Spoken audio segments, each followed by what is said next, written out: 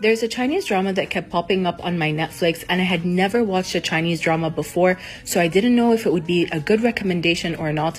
So I asked you guys, like, if you thought it was good, if you think it was worth the watch, and so many of you said yes. So I went into episode one five hours ago, and currently I finished episode five. You guys, it's so cute.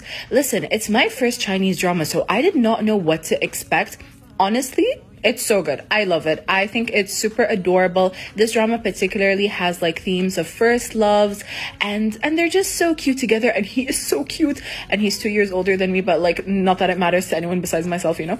Um I just think the drama is genuinely so worth the watch so far. I'll keep updating you guys, but honestly, thank you Netflix for making this keep popping up and all of your reviews were so terrific.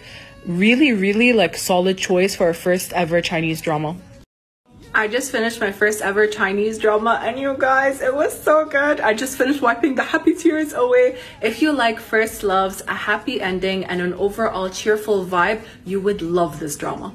Tell me why I'm about to cry again. I'm sorry guys, I just finished the drama half an hour ago. I'm still in my feels. Let me tell you about the storyline. So he's her brother's best friend. They met uh, when she was super young. He's five years older than her and she developed like a cute little crush.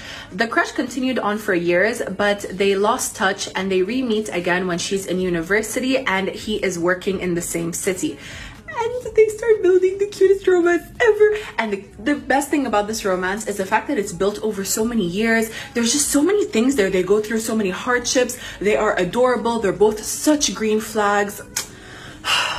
When are we gonna get this in real life? I'm so annoyed. Dramas keep raising my expectations to what I know. Once you meet his character, you will never move on. Good luck.